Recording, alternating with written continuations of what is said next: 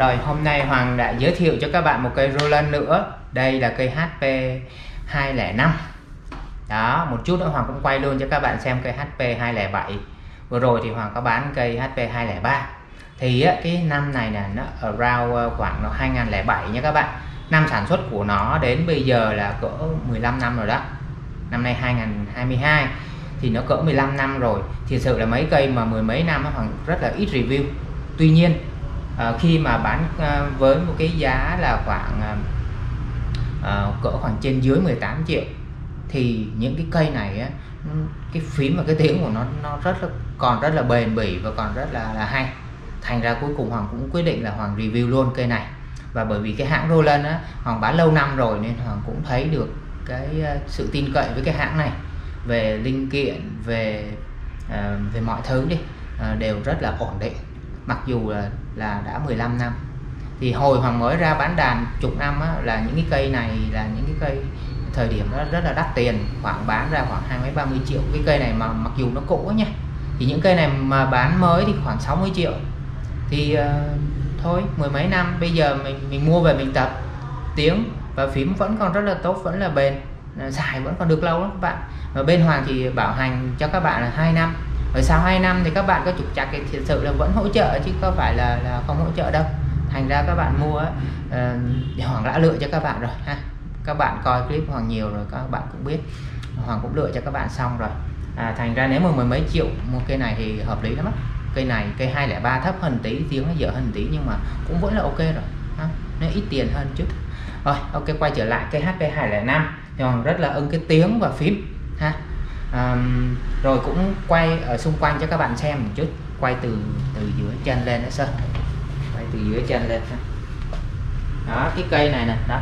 Hoàng rất là thích cái cây này mà nó có hai chân có cái chân đằng trước. Đó. ngang qua rồi nó cũng có ba bê đan các thứ đầy đủ. Okay. đó các bạn xem. Rồi nắp của nó thì cũng có nắp rượt. Rồi để đây rồi giá nhà.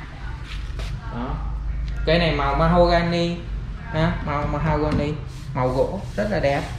Rồi rồi ờ, đây mình coi cái cái bản của nó nữa nè đây HP25 phiên bản này phiên bản GP ha các bạn. 205 trơn cũng được GP cũng được cái nào cũng được các bạn. GP thì nó có nhiều tiếng piano. Đó nó chạy qua các phím. À, nó ghi tiếng nhật vậy chứ dễ dễ ỏm mà đổi qua tiếng dễ ỏm chả có gì khó chứ à, cứ lướt qua cho các bạn xem thôi nè rồi thấy chưa?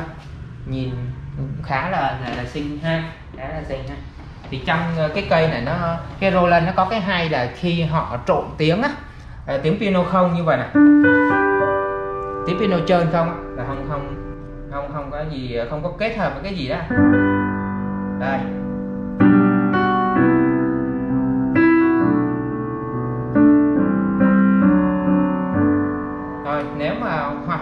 Thích mấy cái tiếng trộn đó chẳng hạn.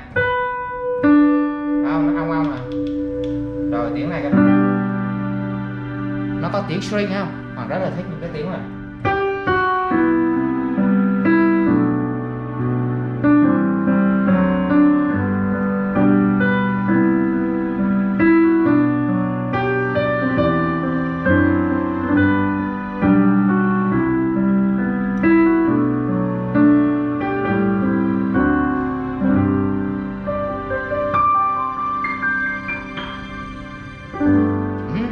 Đẹp ghê không?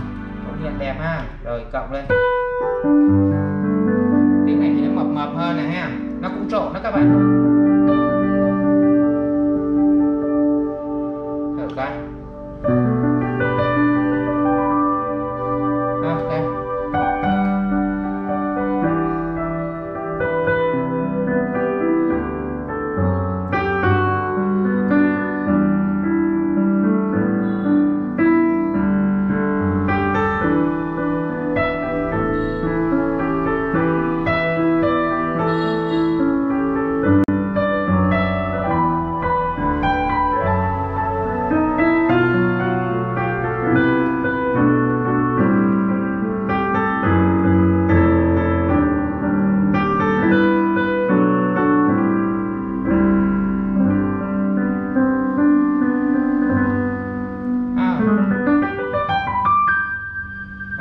ví dụ đánh cái bài buồn chẳng hạn.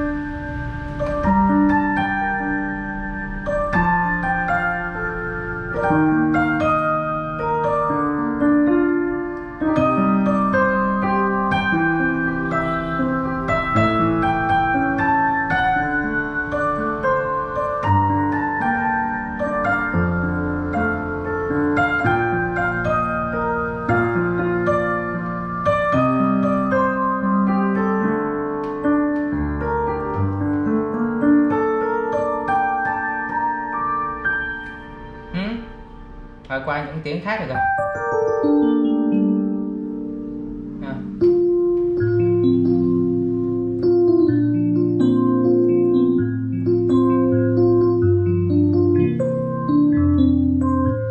à tiếng khác à?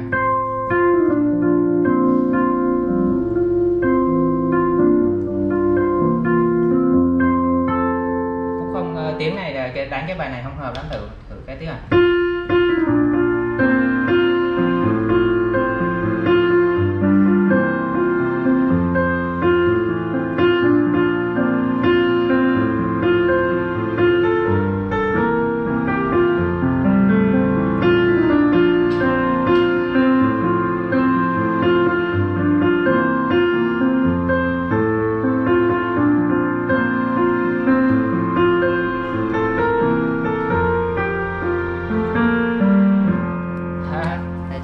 Rồi Hoàng review ờ, sơ qua, tiếng, phím. Rồi Hoàng cũng nói các năm sản xuất, rồi ờ, tình trạng ha. Thì cái cây này cũng là một cái lựa chọn ờ, đáng giá đó các bạn. Nếu mười mấy triệu thay vì mình mua cây mới thì được hưởng cái tiếng và cái phím cái tầm giá mười mấy triệu thì sẽ Ờ, sẽ sẽ đủ gọi là cho người tập đàn sơ sơ thôi. Còn mà ai mà đòi hỏi có một cái phím tốt có một cái phím mà nó thể hiện được cái ý mình mong muốn nè cái sound mà nó nó nó làm cho mình phấn khích khi mình đánh đàn á thì rõ ràng uh, mình mình có- có mười mấy triệu mình chỉ mua được đàn đã qua sử dụng nhưng mà đàn đã qua sử dụng rất tốt đấy các bạn. Còn rất tốt ok xin uh, cảm ơn các bạn đã theo dõi clip Hoàng. Nếu mà clip Hoàng có hữu ích xin các bạn uh, nhấn subscribe cũng như chia sẻ cho các bạn khác cùng biết đến cái kênh của Hoàng cũng như ủng hộ sản phẩm bên Hoàng ha. Cảm ơn các bạn.